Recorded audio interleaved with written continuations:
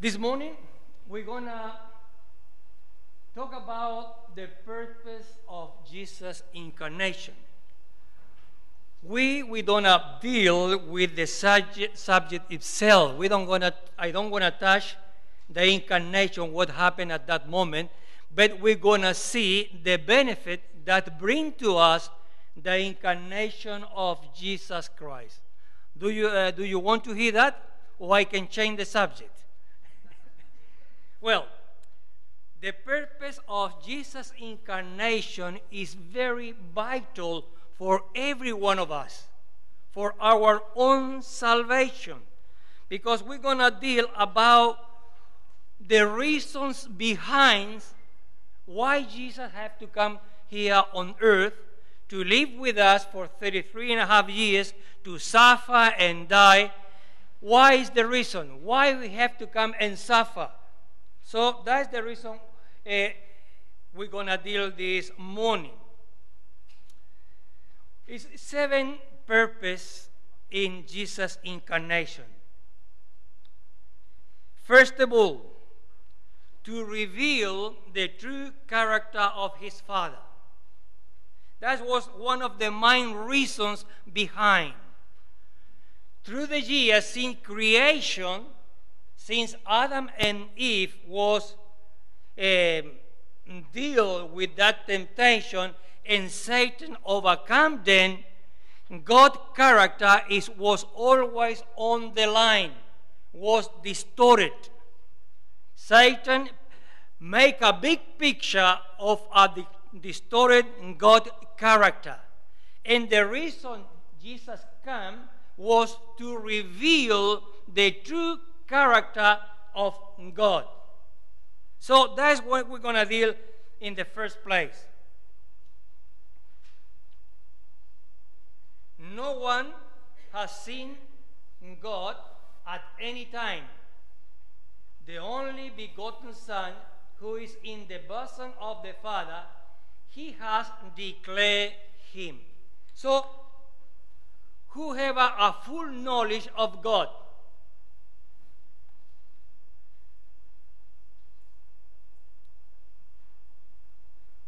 Only the Son, Jesus Christ, have the full knowledge of the Father because he was in the bosom of him. He was there in, in, in, in God. Uh, let me try to, because always these things turn it off.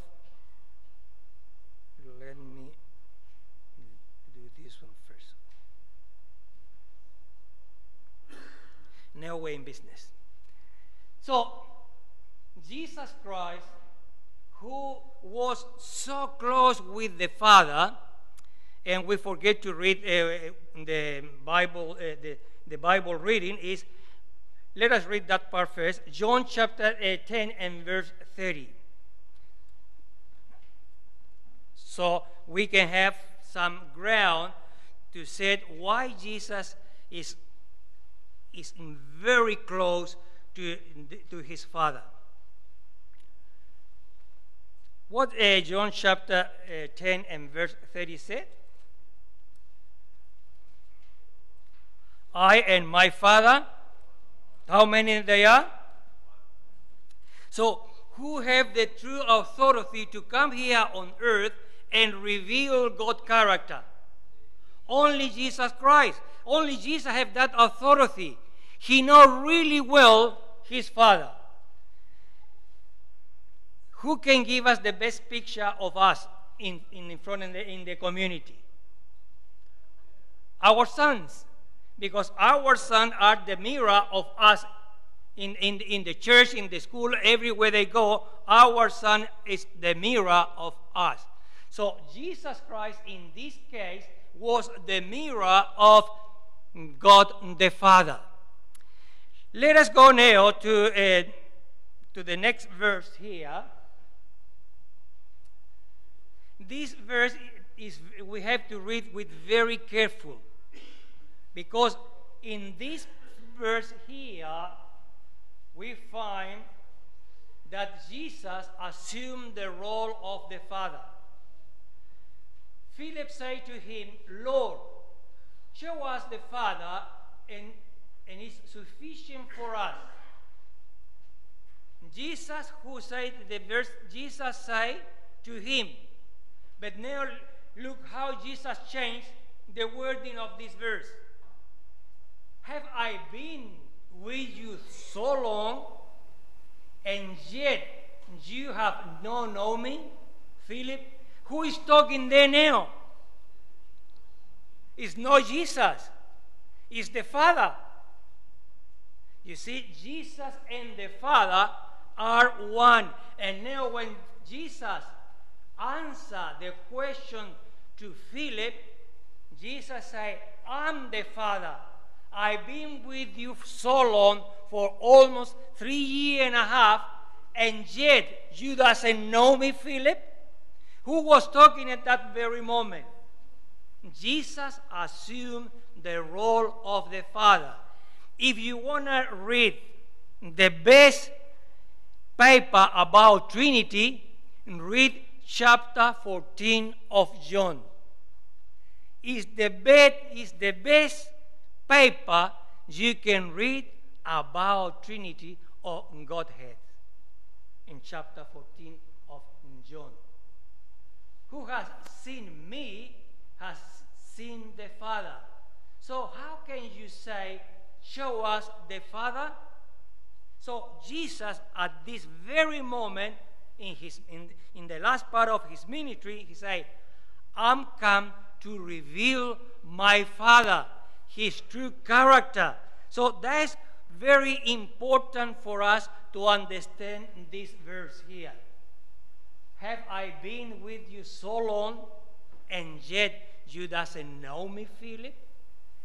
Was Jesus was talking here. But Jesus assumed the role of the Father. Jesus said, I'm the Father. If you see me, you see the Father. Because the verse just we read before, John, John chapter 10 and verse 30, what said? I and my Father, we are how many? Two or three? Just one. So that's the unity that we have in Jesus Christ. But let me clarify this. Jesus and the Father wasn't Jesus here and the Father is here. There is one. But actually was two persons. But in purpose and idea and the mission they have, they are one. How many God we have? One. But in how many forms? In three. God the Father, God the Son, and God the Holy Spirit. And how many God we have? Only one. They, the three of them, they are one in purpose, in mission, and redemption. And among them, there are no jealousy. So that's the reason why they are one. In this case, Jesus said, I'm the Father. I reveal my Father. So that is very important. It's another text here in Second Corinthians chapter 4 and verse 6. For it is the God who command light to shine out of darkness, who has shown in our heart to give the light of knowledge of the glory of God in the face of Jesus Christ who come to reveal the Father to the Gentiles? Jesus. Jesus Christ. So that is very important. In Jesus, when he was here, how he dealt with people. He ill treated them. Eh, Jesus treated his people in those days, in his time, he treated them with kindness, with love, Show the mercy of God. Have compassion of them. Remember in the, in the Sermon of the Mountain, they, they, when Jesus saw, saw the great multitude, they say, He feel compassion on them. So, and the Bible said, God is love. So, what Satan say about God? That is a dictate, like a dictatorship. Do you ever live in a country where is a, a dictator? Anyone come from those countries? I'm one of them. But I have a good time under the dictator.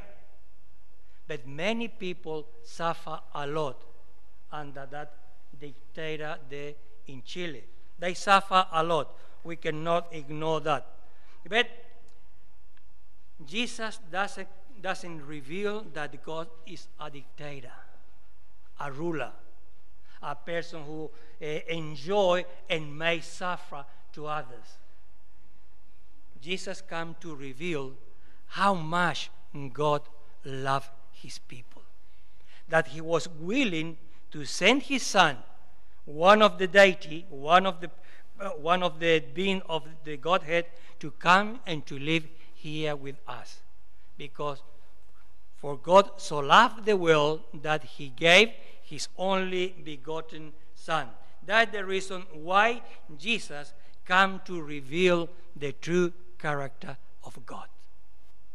Let us go to the second point. I found this quote from the Spirit prophecy. He represents God not as an essence that pervades nature, but as God who has a personality. What Jesus said to Philip, whoever see me, see the Father. Christ was the express image of his Father's person, and he came to our world to restore in men God's moral image, in order that men, also fallen, might through obedience to God's commandments become stamped with the divine image and character adorned with the beauty of divine loveliness. What a beautiful Savior we have. So, there was reason you find that support that uh, in this statement here that Jesus come to reveal the character of God being acceptable. Can you accept this fact that the first reason why Jesus have to come here on earth? He came to reveal the true character of our heavenly Father. Let us go to the next one. He came to fulfill the divine covenant. God make a promise to the human being. And he need to come. He need to come to fulfill the divine covenant. Why? Why have God have to be done this? Why God have to come to fulfill this promise? If God doesn't fulfill his promise, he will be in the same predicament of Satan because Satan is a liar. If God doesn't fulfill his commandment, he, if he doesn't send his son on earth, God is another liar in the world. But God, even though know that his son will be suffer, he was willing to sacrifice his son for our own salvation.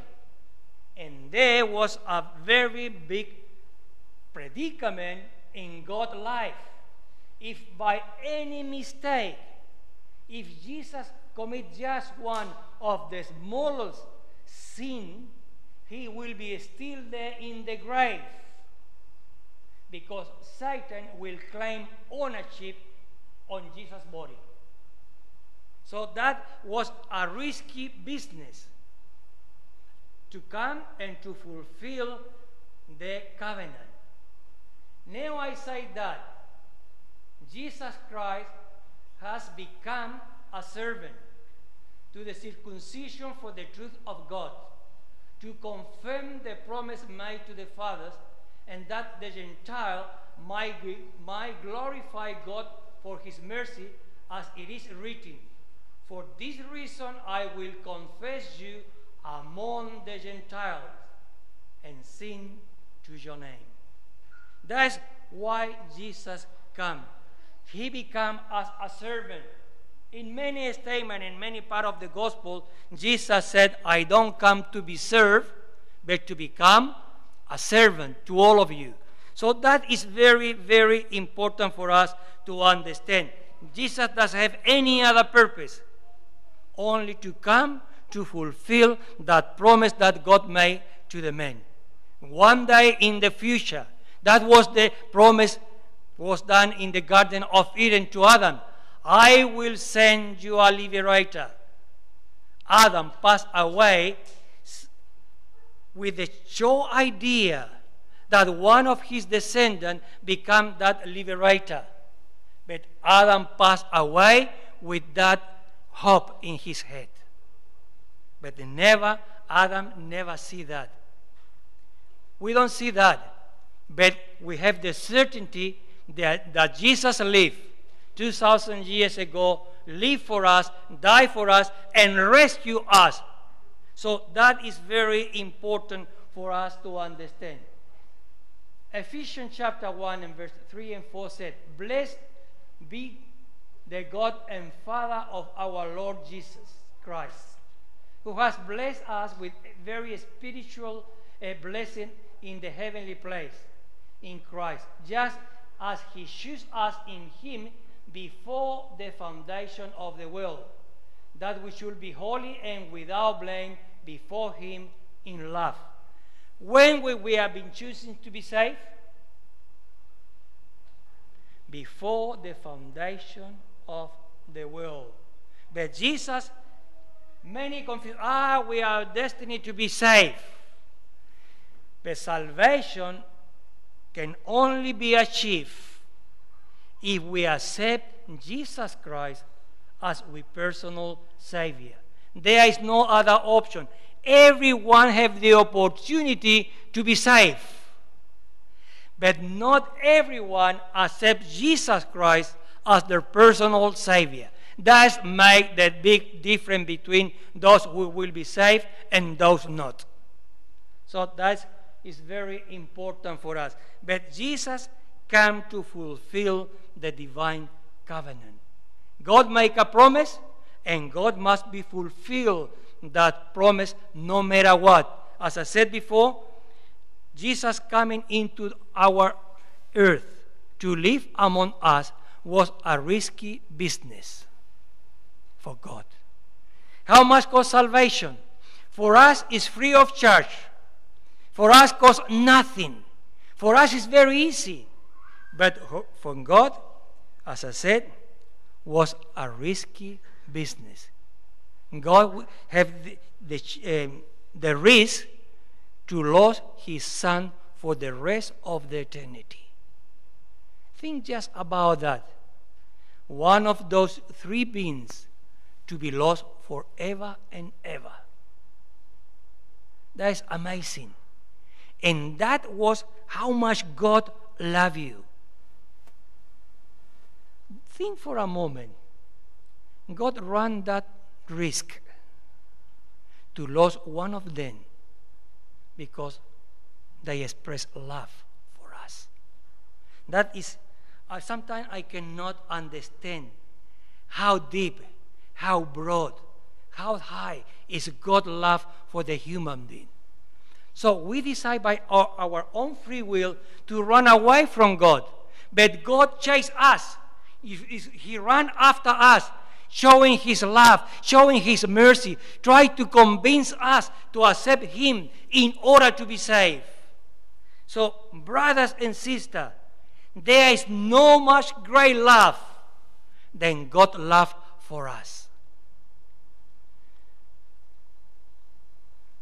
Under the new covenant, the conditions by which eternal life might be gained are the same under the as under the old. The conditions are and never have been based on perfect obedience. In the new and better covenant, Christ has fulfilled the law for the transgressor of law. If they receive him by faith as a personal Savior, mercy and forgiveness are the reward for all who come to Christ, trusting in his merit to take away their sin. We are cleansed from sin by the blood of Jesus, Christ Jesus, our Savior. Incredible. Jesus' blood make us free. Jesus' blood make us clean. So that's the reason why Jesus have to come on earth to shed his blood on the cross to save us, to cleanse us from all our iniquity in order to be saved. So, brothers and sisters, it's very important for us to understand this purpose of the incarnation to fulfill the divine covenant. He had to come and shed his blood for us in order to make us clean and to bring in full harmony with God the Father. When I say God the Father, it's a little bit tricky in my mind, and I will explain why. Because when I say God the Father, I just mention one of the being of the Trinity. But when I say God, I refer to the three of them God the Father, God the Son, and the Holy Spirit. In our salvation, the three of them are involved in it. God the Father, God the Son, and God the Holy Spirit, the three of them working for our salvation. So if Jesus come here on earth, the whole deity was here and working on our favor, and they still are working on our favor. Where is Jesus? In the heaven, heavenly sanctuary. Where is the Holy Spirit? Among us. And where is the Father? In heaven, wishing to us that we become to repentant, repentance. Because uh, God doesn't want no one to perish, but everyone to proceed to repentance and salvation, to accept Him as His personal Savior. Let us go to the next one. The ten on this oneness between God and man is the great covenant of redemption were arranged with Christ from all the eternity. When this plan of salvation was laid down, when was say well when God the three beings there, the divine being, decide to save the men? When they say, when the men, when the men fall there in the in the Garden of Eden, of this plan of salvation was done long, long before, was done in the eternity. Brothers and sisters, this salvation, this covenant that will bring redemption to the human being was arranged in the eternity long, long time ago. And so, for that reason, we have to praise our Lord Jesus Christ. The covenant of grace is not a new truth, for it existed in the mind of God from all the eternity. This is why it's called the everlasting covenant.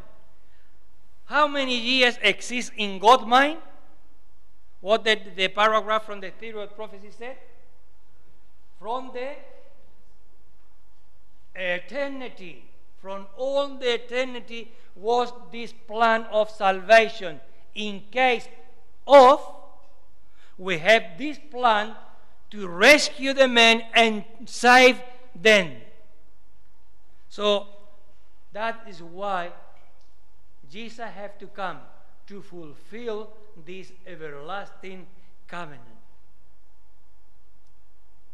Now, he came to become our substitute.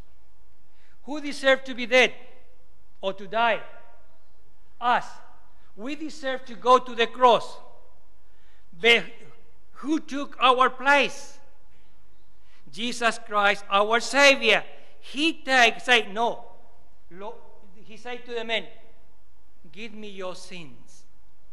I will carry on to the cross. And I will nail there at the cross.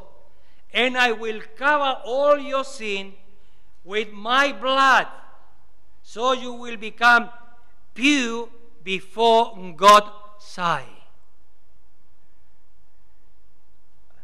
One question Are you willing to die for other person? It's difficult. It's very difficult to put say, okay, this person have to die. I'm old. I will die for him. He can live. No human being is willing to that sacrifice. But Jesus, he, he come and he's our substitute. He died for us. Let us read some few verses from the Bible. Mark chapter 10 and verse 45 said, For even the Son of Man did not come to be served, but to serve and give his life a ransom for many. For how many Jesus gave his life? Only for one, only for Adam? For everyone. So John chapter uh, 3 and verse 16 say, For God so loved the world that he gave his only begotten Son, that whoever believe in him might not perish, might have everlasting life. So, to give the ransom for many, that is open the heaven for us. Because through Jesus, we can claim salvation through, through the merit of Jesus Christ. So, brothers and sisters, Jesus is the perfect Savior because He bore our sin to the cross. He rescued us. He was ready and willing. He paid our ransom. No one, by his own merit, we cannot gain salvation. As good as much you, you might be, but that is not enough to gain salvation at God's side. You need the help of Jesus. You need the help of an advocate or a solicitor, if you can put it, or, or a lawyer. Jesus is our lawyer at God's side. For the Son of Man has come to seek and to say, what? That was lost. You know, one of the the animal doesn't have a sense of orientation is the sheep.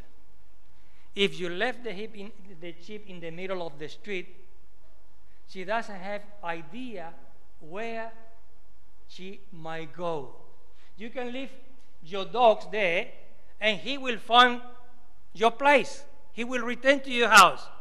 If you left a sheep there, he will never ever find his place unless you go and grab it and take them home. That is our case. We've been lost, but we doesn't know how to return to God.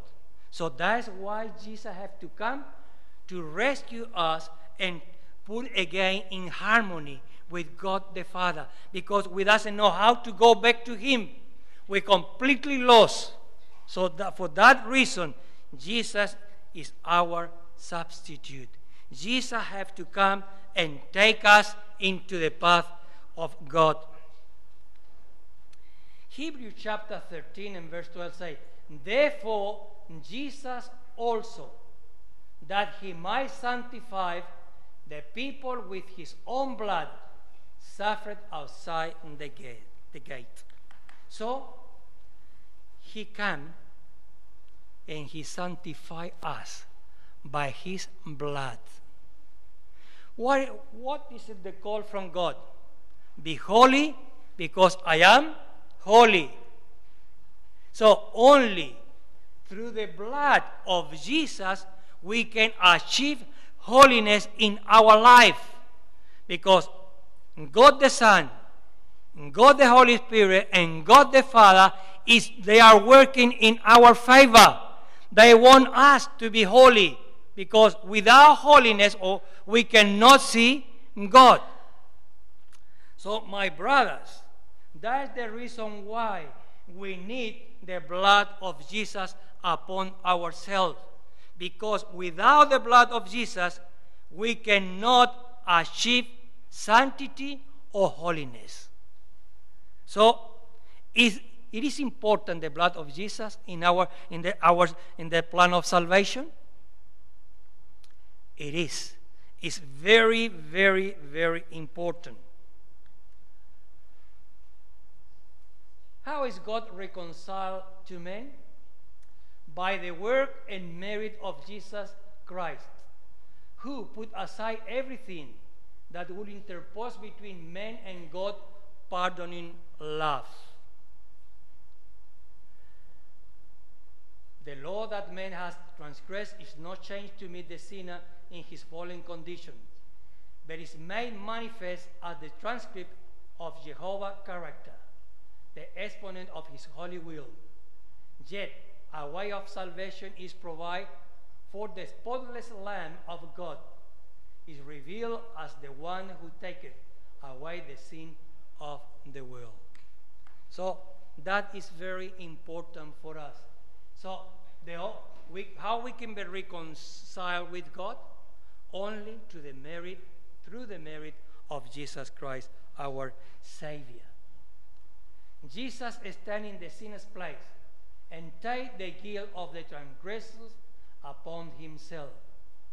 For God was in Christ reconciling the world unto himself. So that is very important that Jesus stand in the sinner's place. He took our place. He was taken to the cross and he died for us and died and rescue us and save us.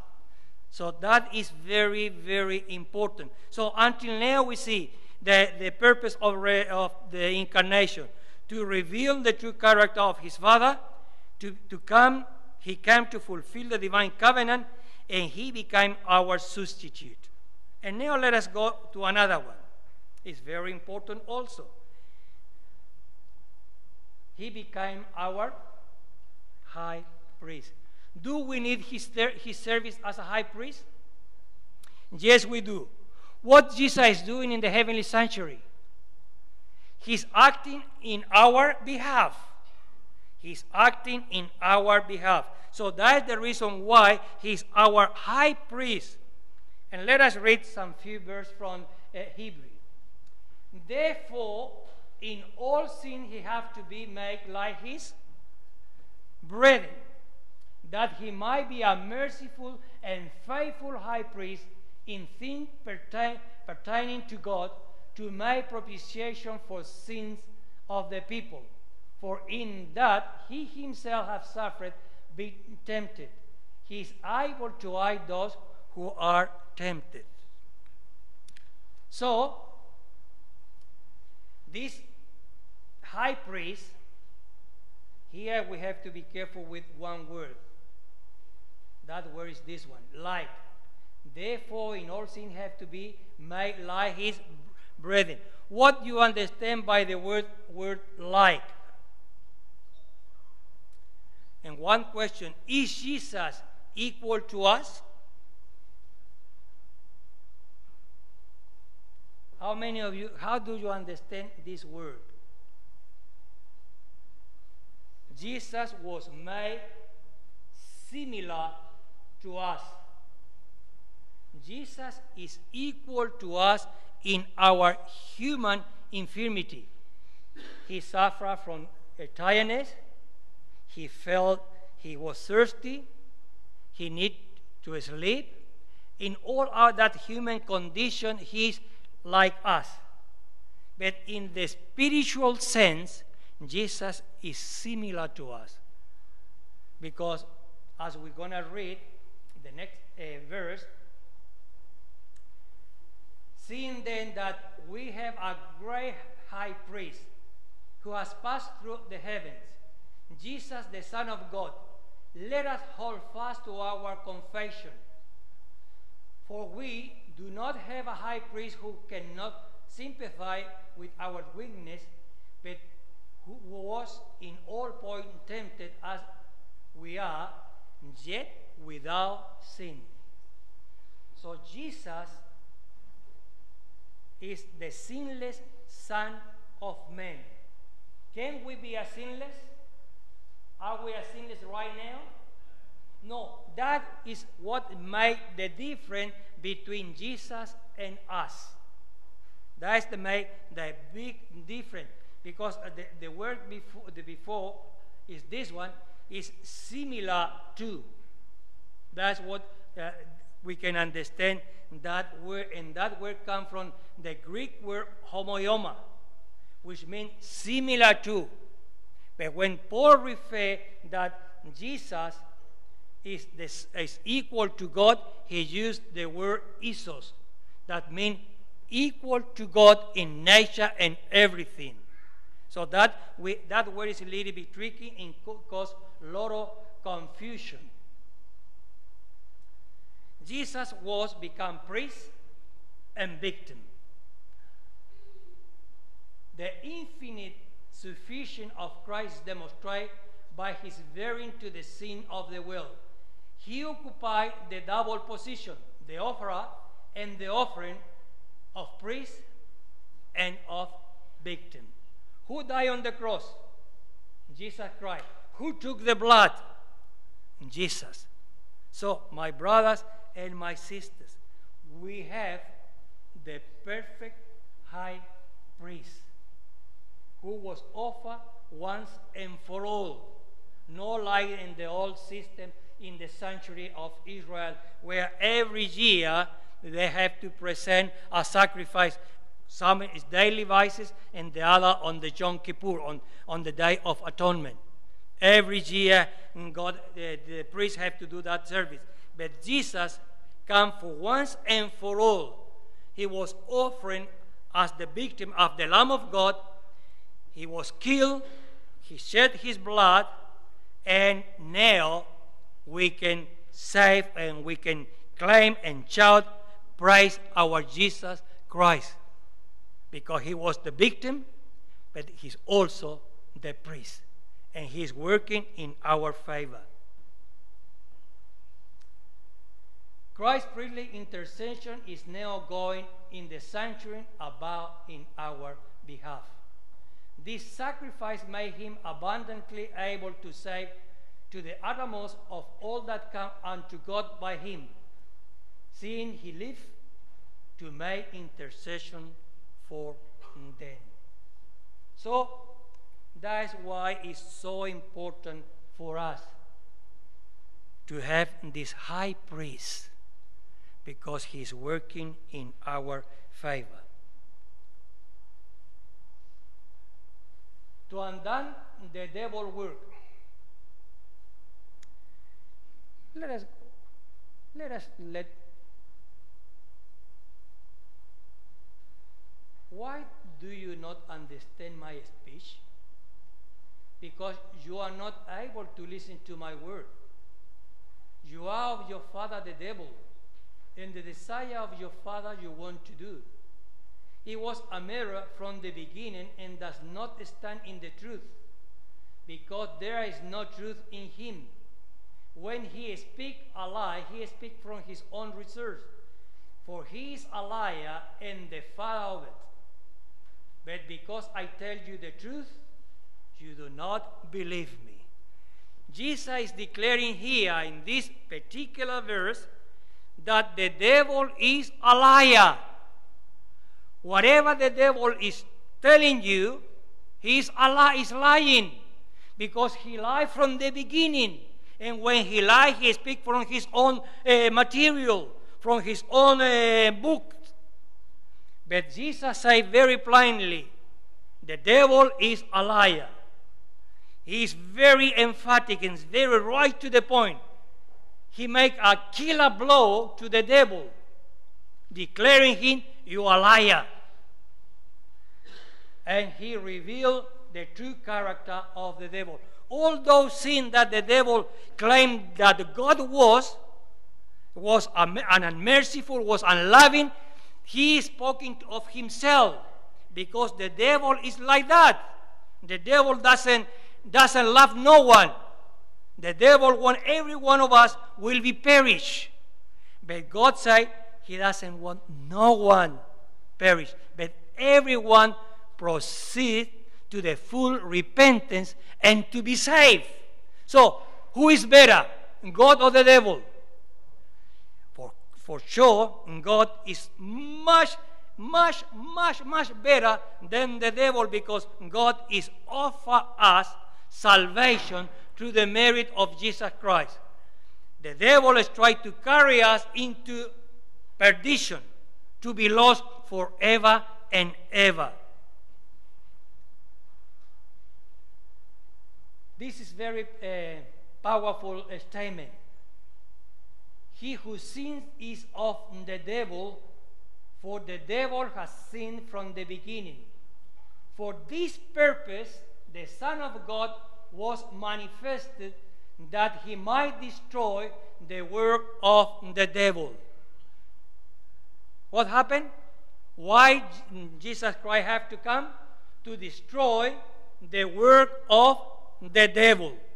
So, but here we have to be very, here uh, we have to be careful in this part here. Sometimes we run off the track. When we are doing this, we are, we are putting in a dangerous ground. And the devil can strike that right there, and we will be lost forever and ever. When we commit sin, we go on this at the side of the devil. So that's the reason why God said we have to always stand by the truth and always seek his companion. The purity and holiness of Christ, the spotless righteousness of him who did not sin, was a perpetual reproach upon all sin in a well of sensuality and sin. In his life, the life of truth, was flashed amid the moral darkness with which Satan enshrouded the world. Christ exposed the falsehood and deceiving character, and in many hearts destroyed his corrupting influence. It is was this that stirred Satan's such intense hatred. So, this paragraph or this statement doesn't need to be another uh, commented or another explanation. It's very clear. It's right to the point. One of one whose character and practice refute Satan's misrepresentation of God. Satan had charged upon God the attribute he himself possessed. Now in Christ he saw God reveal his true character, a compassionate, merciful Father, not willing that anyone, any should perish, but all shall should come to him in repentance and have eternal life. Go to the next one. I have to run fast now. To set example for us. He who say he abide in him, of him said also to walk just as he walked if we call Christian, how we have to call, how we have to behave. Christ-like, exactly. We have to uh, acting like God. I cannot walk and I cannot assume a name if I don't do what my leaders did. If I call myself Christian, I have to do what Jesus did. I have to follow his footstep. I have to do everything according to his will if I call myself Christian. I have to rush a little bit because we're beyond the time. Christ is our example. The Christian warfare is not a life of indulgence to eat and drink and dress a self indulgent worldly the Lord Jesus came in human nature to our world to give his precious life as an example of what our life should be. Is clear? Is clear? Is very clear. We are to follow the example set by Christ and make him our pattern until we shall have the same love for others as he has manifested for us.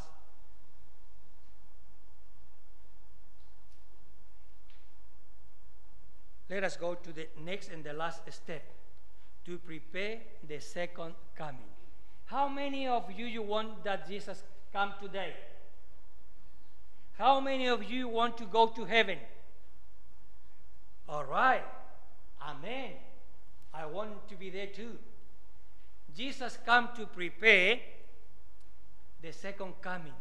Because that day will be a very very special day. Was we will will be a very noisy day. Because the grave will be open shouting the angel claim we gonna uh, rise up and and and praise the lord. Here this is the lord we are waiting for so long that day will be a full day of joy so Christ was offered once to bear the sin of many. To those who eagerly wait for him, he will appear a second time, apart from sin, for salvation. He will appear for the second time. Why? Because he said, I will come back again. I will come in again. And if I go and prepare a place for you, I will come again. Do you want Jesus to come again? And he received you to myself, that where I am, there you might be also. So wherever Jesus might be in heaven, I'll be there with him. That is the most rewarding experience for any Christian to be at the side of Jesus Christ. We also say, Men of Galilee, why do you stand gazing up into heaven? The same Jesus who was taken up from you into heaven will so come in the like manner as you saw him go into heaven. Jesus said to us, I will come again. But we have the confirmation again. Jesus' word was confirmed by these two powerful angels who said to the man who was gazing up heaven, The same Jesus that was taken from you, he will come again. I hope to be there that day. God people are to warn the world to prepare for the second appearing of our Lord and Savior, Jesus Christ. That is our responsibility. That is our purpose in life. To share the gospel of Jesus. To share Jesus. But many say, ah, but Pastor, uh, I don't know how to give Bible study. I never do a theological course. You don't need to give a, uh, you don't need to know how to give a Bible study. You don't need to go to Avondale to, give, to, to speak about Jesus. If you keep a, a, intelligent conversation talking with your friend, you can share Jesus. That's reach, preaching and reaching out with the gospel. Is to share what Jesus has in my life, how powerful He led my life. That's what I need to share with others. That's what other people need to know. How Jesus led my life from triumph to triumph. So that's what is need to be shared. And the second appearing of our, of our Lord and Savior Jesus Christ is to be kept fresh before the mind of the people. The same Jesus that ascended into heaven, escorted by heavenly hosts, is coming again. And I longing for that day. I want to see that day. And I want to be account between those who, who will waiting our Lord Jesus. My brothers and my sisters. That is, here are the seven uh, purpose of, uh, of incarnation.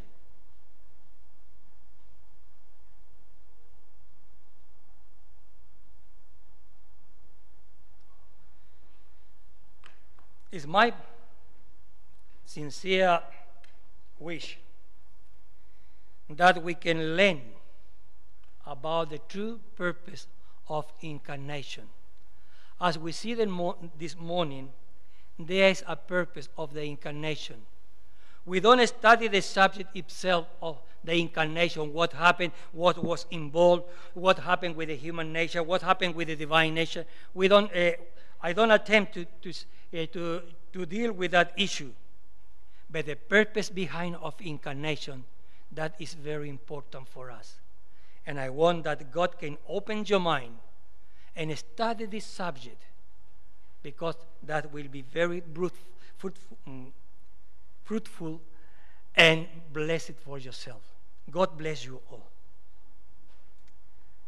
Sometimes it's much easier to speak in Spanish.